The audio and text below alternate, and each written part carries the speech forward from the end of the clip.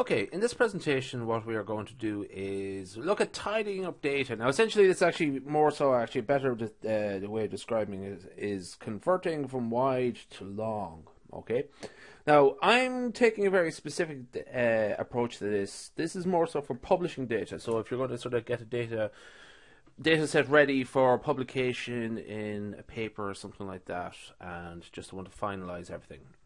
Now, the packages I'm going to use are dplyr and tidyr and also magrittr. Those are the several components of the tidyverse universe. Okay. Uh, just as a remark, I'm using Jupyter Notebooks on Azure. Okay, so just run that again. Um, just a sort of quick remark, every like it's important to read these actually because they are sources of error. But um, just in case of any clashes, I'm just going to run it again to sort of close it down. Now, uh, this is a package I'm going to use, and it is called MethComp, and there's a very good data set in there. And this was written by uh, Bendix Carstensen, and I think Lyle Gurrin uh, from Denmark and uh, Australia, respectively. Apologies if the name there are the names are slightly misspelt. Okay, and it's a package called MethComp, capital M and capital C. It's for method comparison. Okay. Now, uh, I'm not actually going to do any method comparison, but I'm interested in a data set in, contained in that package called SBP. SBP actually stands for systolic blood pressure. Okay, so there we have it there. And it is. Okay, so uh, what I actually did, it, it, it's essentially, I'll actually show you the tail of it uh, as well. So it's essentially what we have here is. Let's give that a second to run. Dimensions of SBP is I think it's 765 okay and let's just look at the summary of it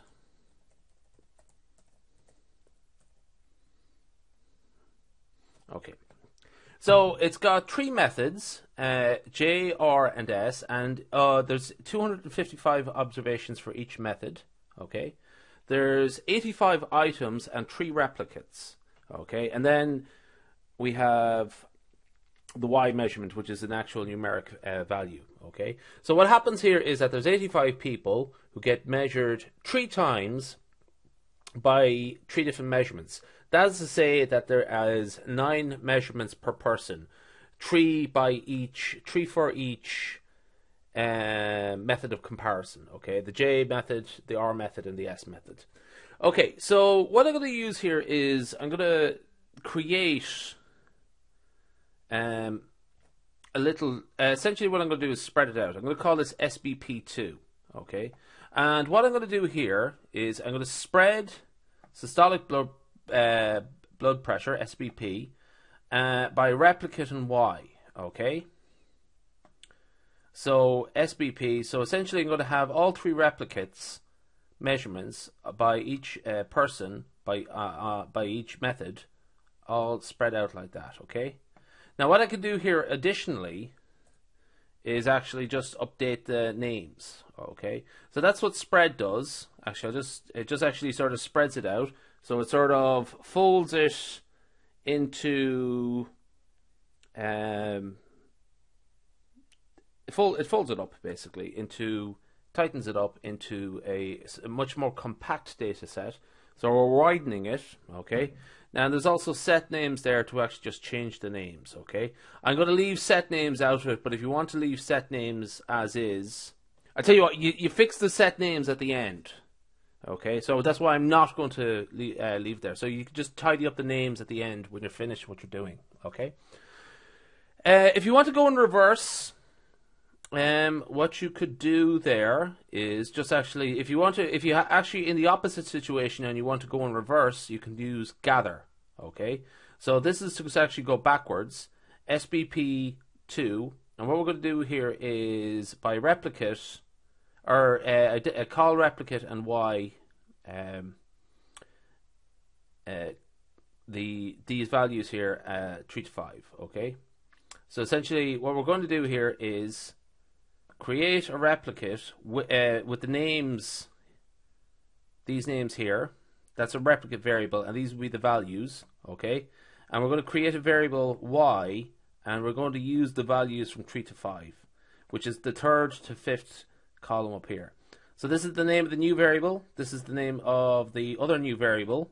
This is the column names. This is the actual values. And this is the values that will be used to populate it. Okay. So that's how we would go in reverse. Now that's the tidyr package. Okay. It requires a little bit of work. Okay.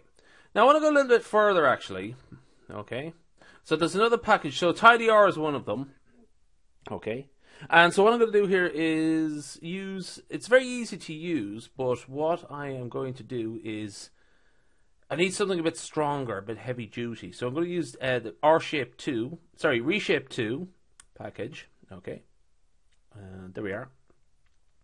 And what I'm going to do is to use this command dcast, okay.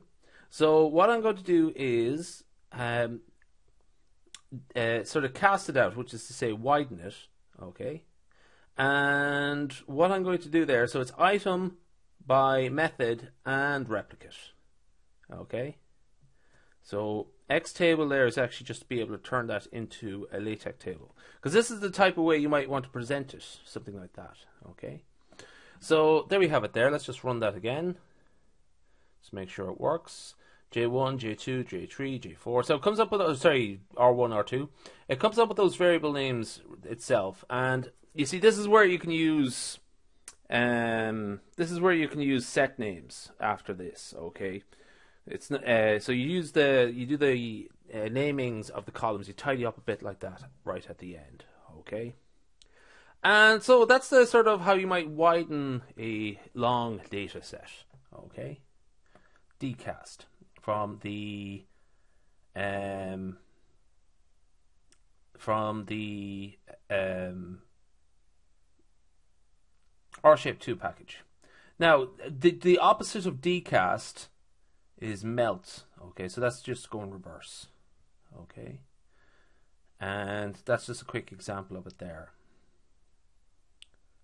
And yeah, I think that's really much everything I want to say. You can use dcast for a couple of other things as well, but um, that's sort of going slightly outside the point of the video. I'm just going to sort of make a quick uh, and short uh, video about widening and turning long data to wide data. So that's going a little bit beyond what I need. Okay,